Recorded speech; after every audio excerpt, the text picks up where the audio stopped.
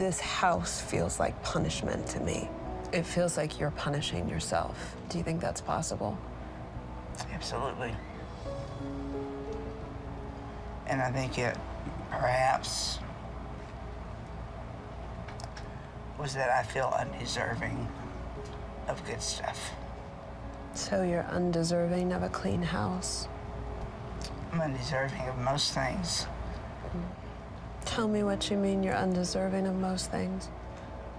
The undeserving all reverts back to a failed marriage with my first husband, to the monster of my second husband. I feel total failure. This is my question for you. Are you willing to put down that burden and put down that guilt? I'm gonna need help getting rid of that guilt, but mm-hmm. I'm With ready. help, yeah.